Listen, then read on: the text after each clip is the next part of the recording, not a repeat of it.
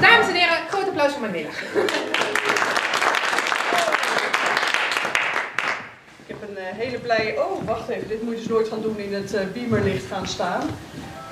Uh, assistenten. Wij gaan zo meteen in de ballenbak verkeren. Dus hier liggen ze alvast ter voorbereiding. nou, hart, hartelijk welkom allemaal. ik tel meer dan de vijf mensen die ik voorspeld had. Ik denk aan het eind van de dag is iedereen... wacht even. Jullie horen me volgens mij ook gewoon zo wel. Oh! Dan heb je twee Weet ik niet. Dingetje. Uh, ja. Ja, oké. Okay. Eigenlijk heb je hem helemaal niet nodig, hè? Zo. Oké. Okay. Uh, nee, ik uh, vind dat spannend om de hekkensluiter te zijn. Want uh, je loopt het risico dat er nou ja, uiteindelijk vijf mensen zitten die je koekjes beloofd hebt. En die dan gewoon echt verplicht hier komen opdraven. Ehm, maar goed, het zijn er meer. Hartstikke leuk. Um, wie van jullie heeft een eigen bedrijf? Laat ik daar eens even mee beginnen. Ja, oh, oké. Okay. Het is gewoon even voor mijzelf. Een, uh, wij gaan zo een aantal oefeningen doen. Uh, oké. Okay. Nou. Doe je nou. Nee, nee, nee, nee. Dat ja, daar komt hij weer. Hartstikke goed. Nou, de titel van mijn talk is uh, Holy Word een uh, meer holistische benadering van uh, webprojecten. Ik wil allereerst mijn eeuwige dank uitspreken dat ik in het hoge noorden hier mag zijn. De King of the North loopt ergens hier beneden, denk ik. Maar ja, ik bedoel, dit is een once in a lifetime opportunity. Maar hier is die. En, ik had toch wel verwacht dat hij in dit in volle ornaat zo gekleed naar deze WordCamp zou gaan. Maar goed. Ik, uh, hij houdt hem nog te goed van me, want deze gaat het vast nog wel ergens op social media doen. Iets uh, heel in het kort over mijzelf. Ik hou het echt kort, want ik ben echt de crappiest elevator pitcher. Um, zet mij in een lift. Het komt niet goed. ik bedoel, ik ben het type wat de lift stilzet om mijn volledige verhaal even te doen. En daar, dat is meestal niet zo succes. Uh, mijn motto is, wacht niet tot die banaan voor jou gaat dansen, maar ja, bepaal je, maak je eigen feestje. Uh, beroep, van beroep ben ik voornamelijk, sorry ik heb een kriebelhoest, WordPress en online marketing trainer. En ik help zelfstandige ondernemers ook met guerrilla marketing coaching. En dat houdt in dat we op low budget, creatieve marketing manieren je bedrijf een boost gaan geven. Holistisch, jullie denken nu vast, ik pak die yogamat maar. En daar gaan we bij zitten. Maar ik dacht van nou, dat is een heel originele term. Totdat ik het vandaag al uh, in twee, nee, drie andere talks ook gehoord heb. Uh, Michelle had het erover. Even wie hebben het nog meer? Nou, ik heb het in ieder geval op drie plekken al gehoord.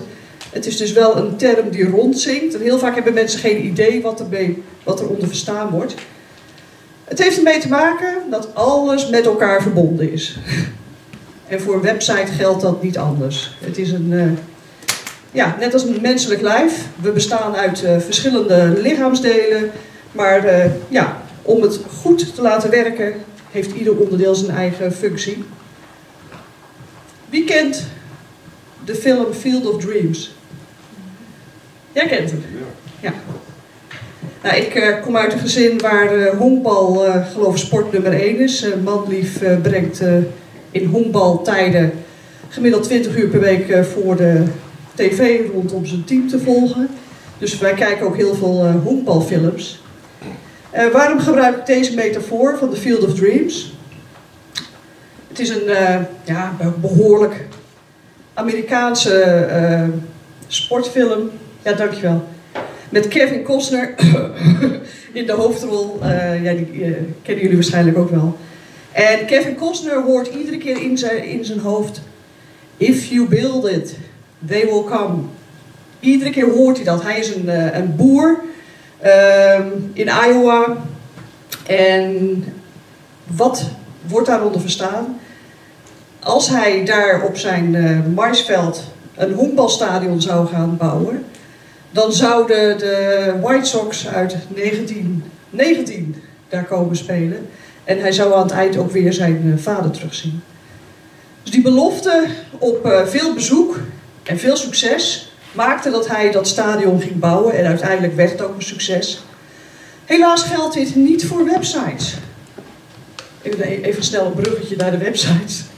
Eh, zo wordt er heel vaak wel gekeken naar websites. Ik weet niet of jullie het herkennen. Hè?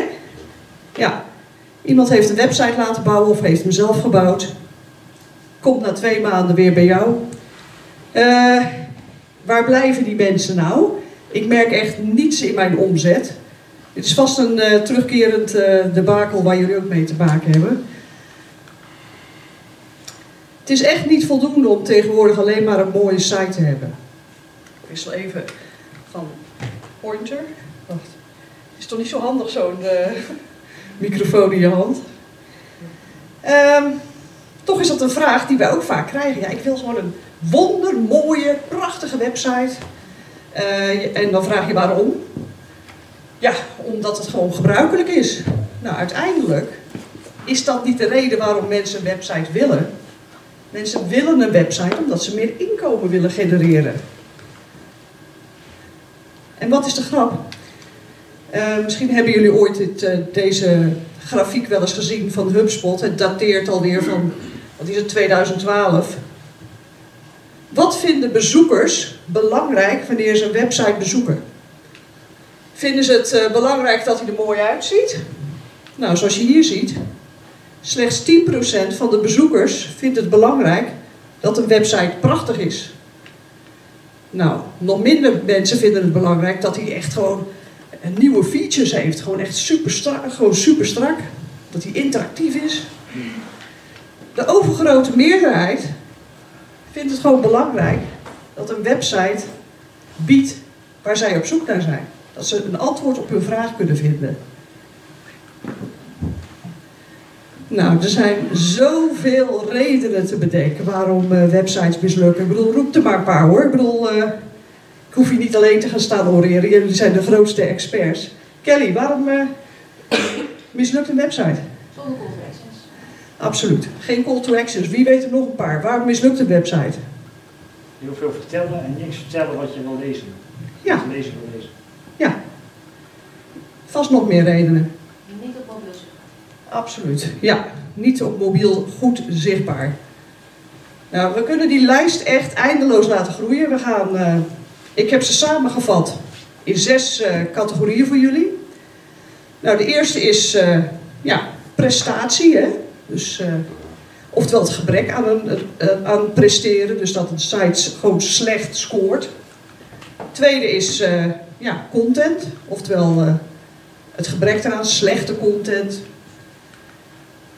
Nou, richting. Welke richting, dat het totaal niet helder is welke richting deze website op moet gaan.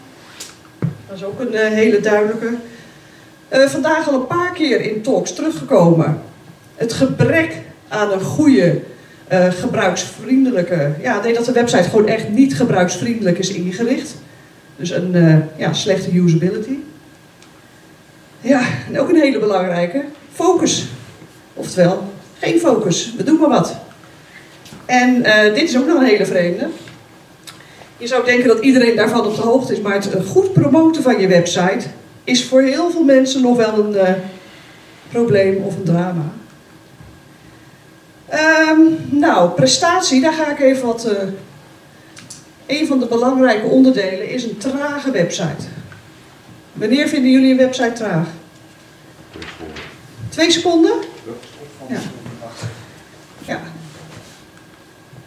Um, alles onder de drie seconden is al traag, maar tegenwoordig dat verschuift gewoon per half jaar, dan wordt dat nog korter. Liefst onder een seconde onderhand nog. Resultaat daarvan is namelijk dat je, dat hebben we ook net van Michelle weer gehoord. Google gaat met name de mobiele snelheid erg zwaar meewegen in de zoekresultaten. Dus je gaat gewoon met een trage site onderuit. Je gaat niet uh, hoog in de zoekmachine scoren. En uiteraard, mensen die op je site belanden en die het ervaren, zijn ook zo weer weg. Dus je hebt gewoon uh, een veel lagere conversie uh, op je, via je website. Hoe kun je testen of je site traag is? Nou, dat is een dooddoener natuurlijk, maar gewoon zelf even kijken. Maar welke tools zijn er nog meer? Wie, waar werken jullie mee? GT Metrics. GT Metrics, ja? Webpage.org. Ja? Nog meer? Google PageSpeed Insights, ja. En wat het leuke is, omdat Google tegenwoordig dus echt die mobiele snelheid zo hoog heeft staan. ehm, test my site.withgoogle.com. Dan krijg je echt heel mooi een rapport van hoe je site eh, ervaren wordt eh, door Google op mobiele weergave. Hij kijkt dan hier, nou wat is je laadtijd? En ze schatten in hoeveel van de bezoekers afhaakt als gevolg van deze trage laadtijd. Nou, ik dacht van, oh, ik heb toch redelijk snel. Vergeet het maar. Toch nog eh, van voor tot achter eh 4 seconden laadtijd. En 10% eh, zou het zou af gaan haken. Ik heb andere sites vergeleken van mensen die ik ken. En die komen met echt veel slechtere resultaten nog eruit. Dus ik, nou ja, het, het was minder erg dan ik gedacht had.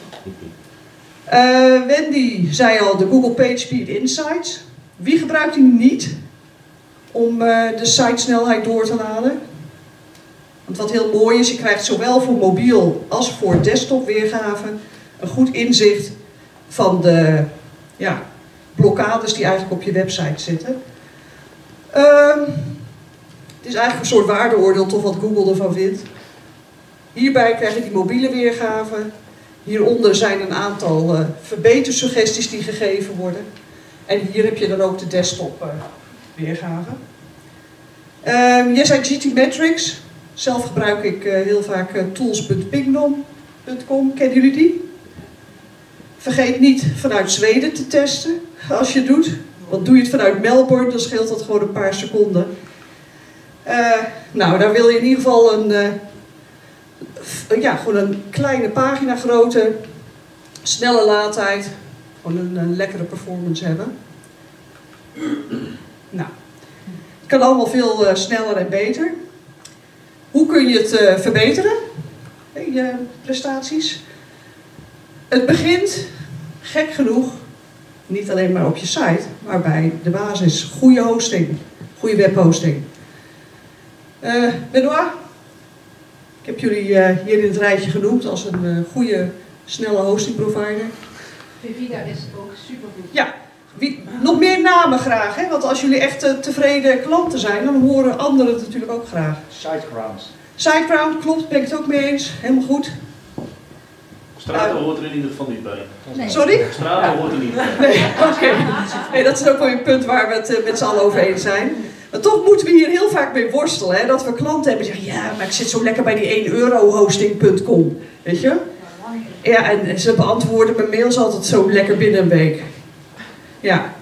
Nou goed, ik, eh, als je voor hosting kiest, eh, je hebt ze in allerlei prijskaartjes. Maar eh, zorg dat je niet de allergoedkoopste neemt. Optimaliseer je afbeeldingen. Heb je ook enorme winst mee te behalen. Eh, er zijn twee eh, gratis plugins die je daarvoor kunt gebruiken. WP Smoosh en The Kraken. Wie kennen deze? Kraken.io, heb je gelijk even het eh, adres. Wat doet hij? Die, als ik het goed, goed vertel, die halen allerlei metadata uit plaatjes en comprimeren de plaatjes. Dus dat scheelt enorm in de laadtijd ook. Mag ik dit aanvullen? Ja, dat heb ik pas ontdekt. Daar ben ik echt zelf super blij mee. Ja. Eh Airfanview, ik weet niet of wie dat Oh, ja. programmaatje kent. Maar dat is een programmaatje wat Windows-gebruikers makkelijk eh, kunnen... eh, waarmee je afbeeldingen makkelijk en snel kunt bewerken. Die heeft een, ehm, een plugin, Save As. En die, maakt, die comprimeert de afbeeldingen net zo goed als Kraken. Ah, Dus ehm, ik- ik was er verbaasd over hoe goed die de comprimeert. Dus dat Oké, dat is. gewoon een programma op Ja. En het is gratis volgens mij, hè? En het is gratis! Jee. Hou er ook altijd wel van.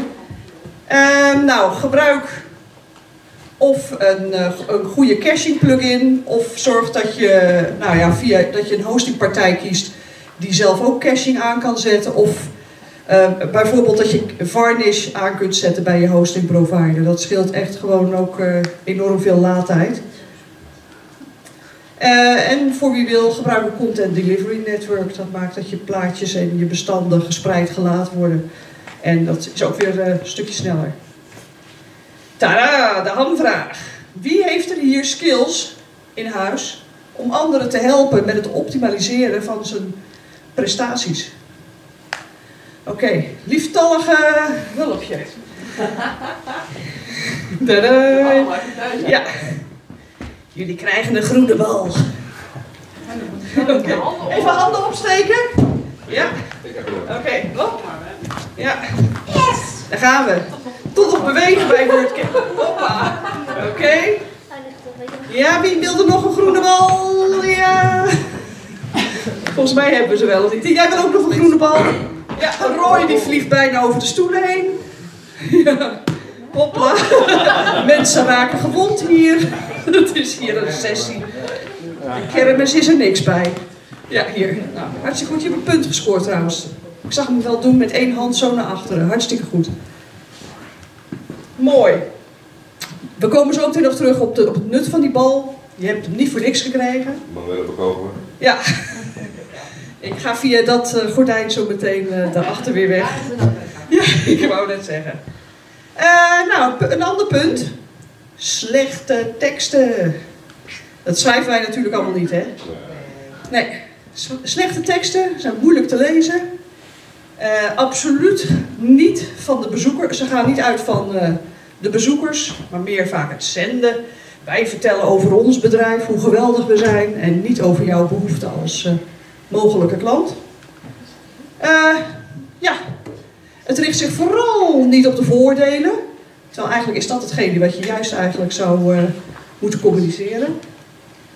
Slechte teksten, dus DT's eh, lekker door elkaar heen gebruiken. En eh, nou goed, waarschijnlijk we zijn vallen er allemaal wel eens de prooi aan.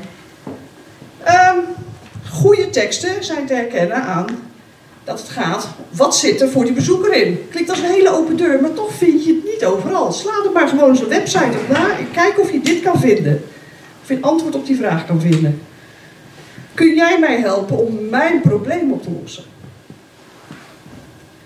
En wat ik niet onbelangrijk vind, wat gaat het me kosten als ik mijn probleem door jou laat oplossen?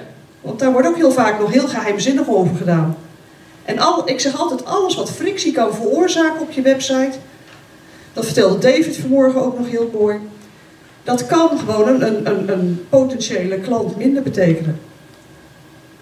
Nou, hoe gaan we teksten verbeteren? Bedenk dat iedere pagina een eigen doelstelling heeft. Als je dat nog niet doet, ga dat gewoon even opnieuw na. Bekijk al je pagina's van, wat wil ik hiermee bereiken? Wil ik dat ze contact met me opnemen? Wil ik dat ze gewoon gelijk naar de winkel gaan? Of eh, wat wil ik hiermee? Alleen puur informeren? Nou, schrijf helder, tussenkopjes, bulletlijsten, vette stukjes voor belangrijke woorden, interne links. Het klinkt allemaal als open deuren. Volgens mij doen jullie dit namelijk allemaal. Hè? Toch, eh, ja, zul je vaak zien dat het niet gebeurt. Leesbare lettertypes. Ik hou van handgeschreven lettertjes, maar eh, wanneer ze zo klein zijn en pagina's lang, dan eh, ga ik door naar een andere pagina. Gebruik voldoende witruimte. Geef rust op een pagina. En gebruik geen vakjargon. We weten wel dat je hyperintelligent bent. Dat hoef je niet via de teksten nog eens een keer te laten zien. Spreek normaal Nederlands. En ik zeg altijd, richt je op de domste gebruiker. Eh, ja, dat klinkt niet aardig, maar sorry. Ja, ik heb daar, dat, dat, dat puntje heb ik enorm mee lopen worstelen. Eh, Ja. Want tegelijkertijd. eh, Je mag hem even hebben hoor. Dankjewel. Eh, want tegelijkertijd vind ik het ook weer heel leuk om eh, dezelfde taal te spreken die mijn klanten ook spreken. Ja. En eh, ik heb ook het idee dat ze het waarderen dat ze dat soort termen weer terugvinden op hun website. Oké. Dingen als, ja, ik gebruik heel veelvuldig bijvoorbeeld het woord productstructuur. Nou, het zal de normale sterveling niks zeggen, maar een doelgroep weet precies wat ik ermee bedoel. Aha. Ja, maar dan schrijf jij in ieder geval al voor je doelgroep. Ja. En dat is, eh, dan ben je al heel veel stappen verder dan eh, de gemiddelde webeigenaar. Die eh, praten heel erg vanuit alleen hun eigen context. En jij bent dus al zover dat je meedenkt. Dus als je wil weten hoe het niet moet, kijk eens op de website van KPN. Die er echt Oh, oké. Zullen we dit ook nog even doen als, als afsluitertje?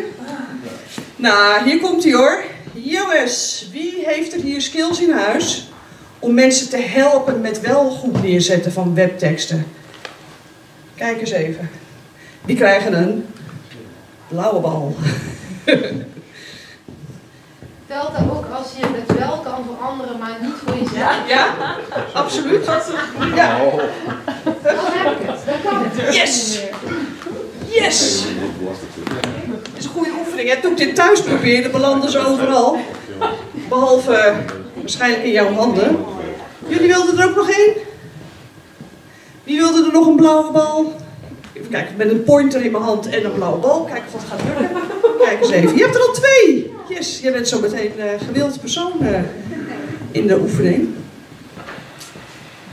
Zie je dat die zaal zo begint te vullen met allemaal mensen die wat kunnen bieden? Eh, ja, gebrek aan richting. Wat bedoel ik ermee?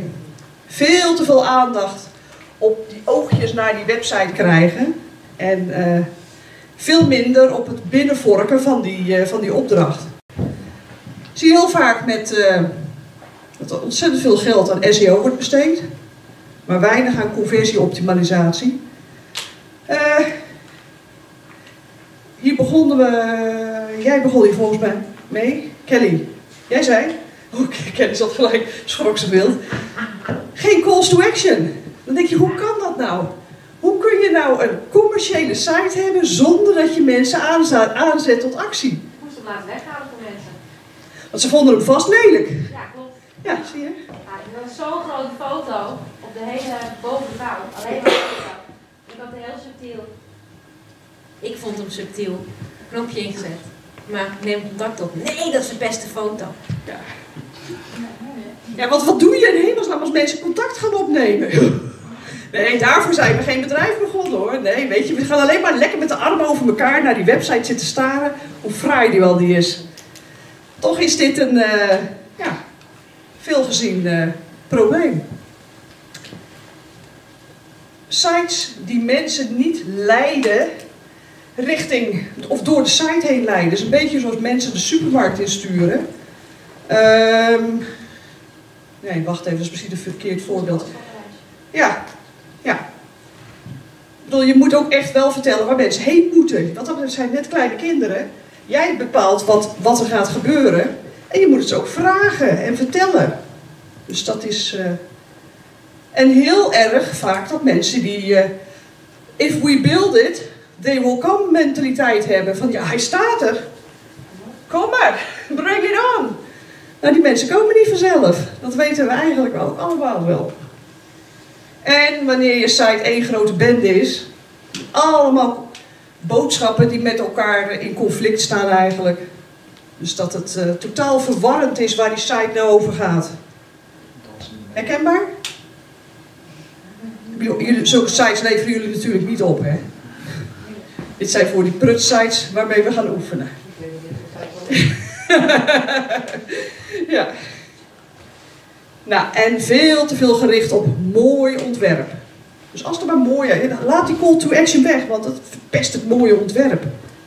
Volgens mij, ja, nee, ik ben er nog. Verwarrende navigatie. Dieptepunt was een keer een, eh, een klant van mij, die weigerde het woord home neer te zetten. Die zei, het begin van alles moet het heten. het begin van alles. Ja. ik, dat deed ik ook. Ik lachte hem echt heel hard uit. Wijk ook bij navigatie, bij menus, niet te veel af van wat de conventies zijn. Mensen verwachten home. Oudere mensen verwachten nog wel eens welkom, weet je wel, in plaats van home. Maar zet daar niet heel creatief een huisje neer. Want mensen begrijpen dat niet altijd. Dus dat is eh, iets waar je ook rekening mee kan houden. Nou, wie heeft er hier voldoende in huis? Kijk, kijk, kijk, daar gaat aan de hand. Om mensen te helpen met het beter sturen door de website. Nou, daar gaan alle gele ballen, denk ik. Ja, ik let nu op.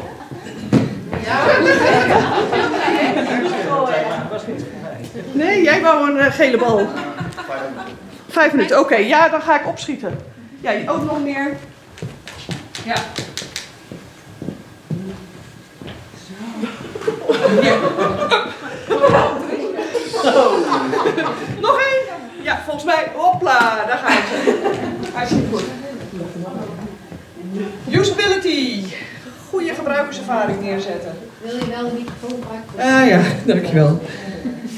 Anders ben ik niet gebruiksvriendelijk. Ja, dan kunnen ze op de video niet meer horen. Oh ja, dat is waar ook.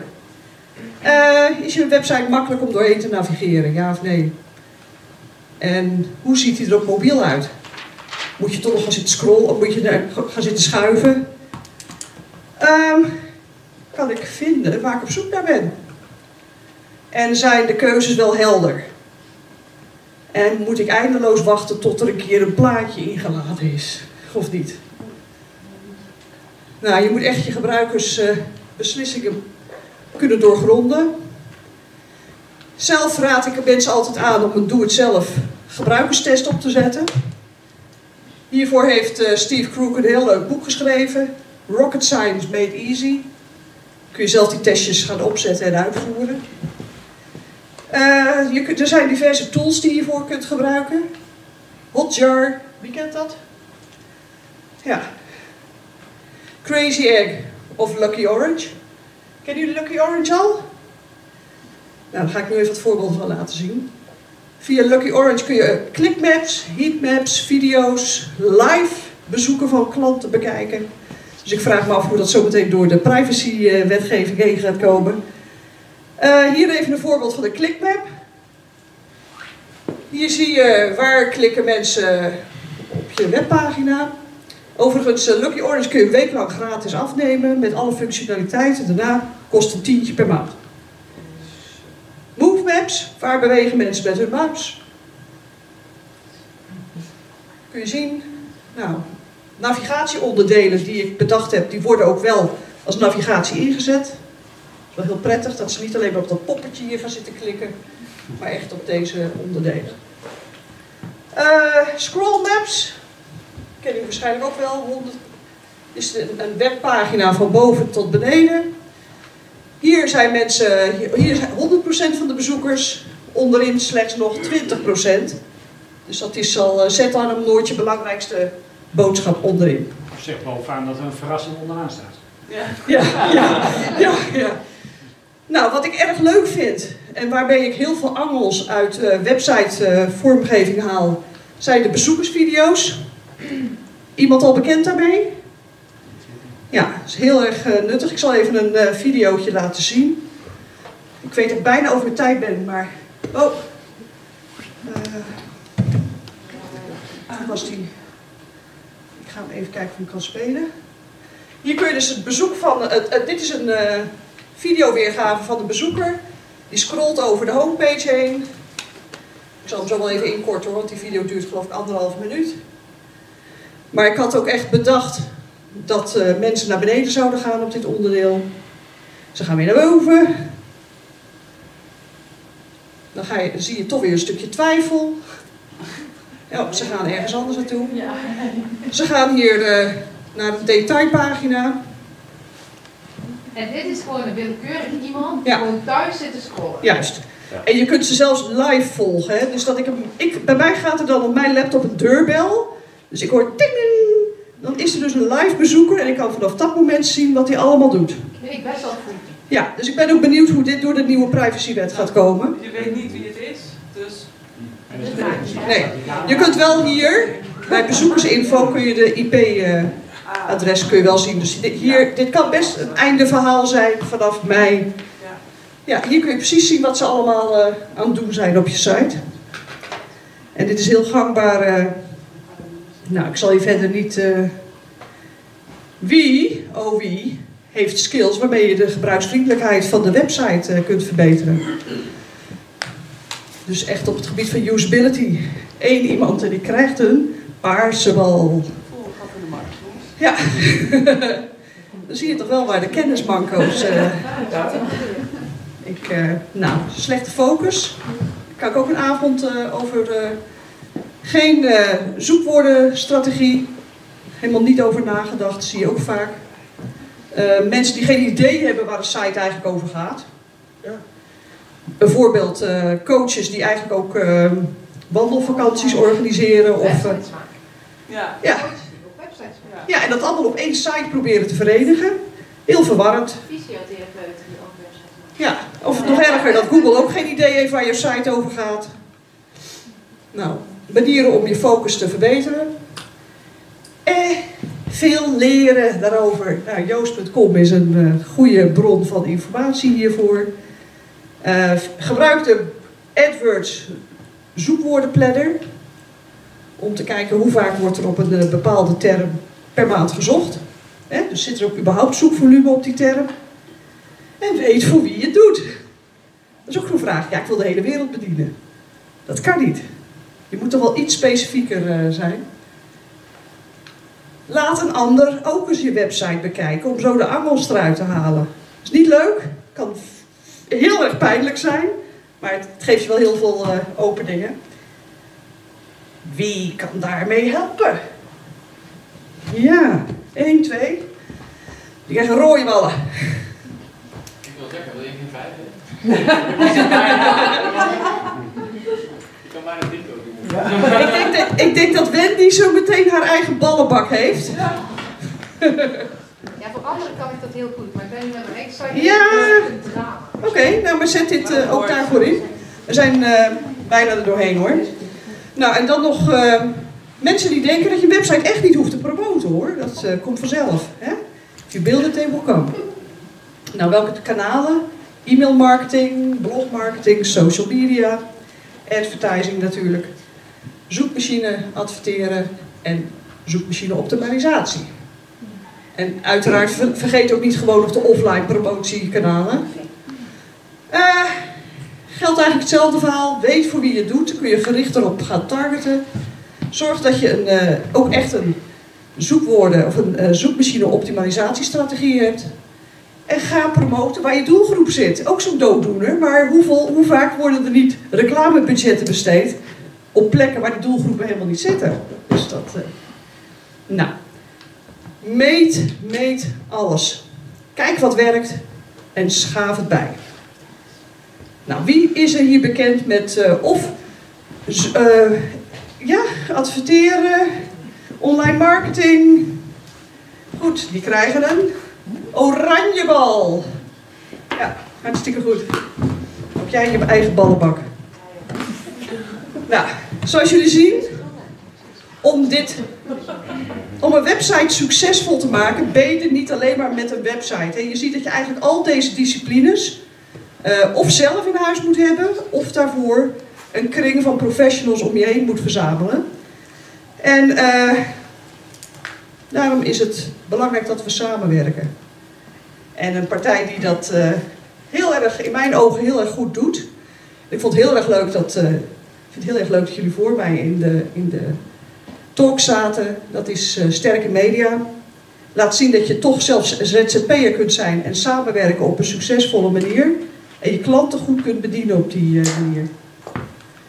Eh, nou, ik had nog een aankondiging van, ja, het was Kelly en Wendy, maar dat hebben jullie inmiddels al gehoord, het verhaal van hen.